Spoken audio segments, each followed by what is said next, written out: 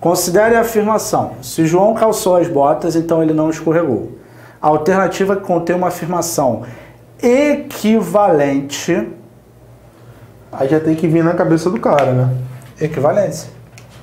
Tem que estar com isso na cabeça. Que o se então, ele pode se transformar em duas. Duas. Né? Duas. Duas equivalências. Uma contendo o próprio se então.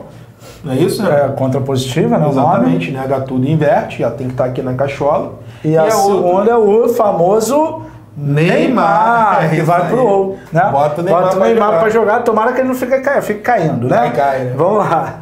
Aí você tenta sempre a primeira. Só que tentando a primeira, você já percebe que não vai. Por Não quê? vai. Negando tudo e invertendo, né? Quando você negar aqui, vai ficar ele escorregou. Aí e esse cara vai pra frente. Se você negar tudo e inverter, vai ficar. Se João escorregou, Aí tu já elimina a primeira. Por quê?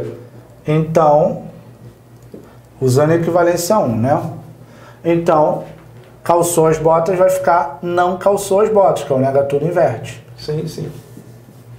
Aqui a gente está colocando tudo bonitinho, mas aqui você já com a primeira você já iria eliminar. Já eliminar. Aqui ele fala que João não escorregou, Tinha que ficar João escorregou. Já tá fora.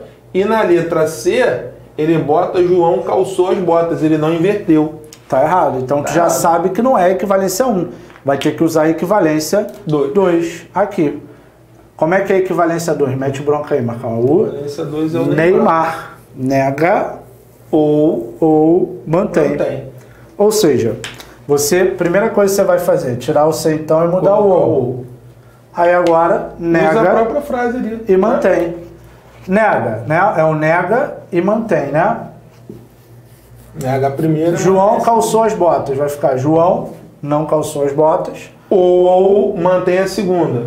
Ele não escorregou. Tem que Maravilha. ter isso na frase.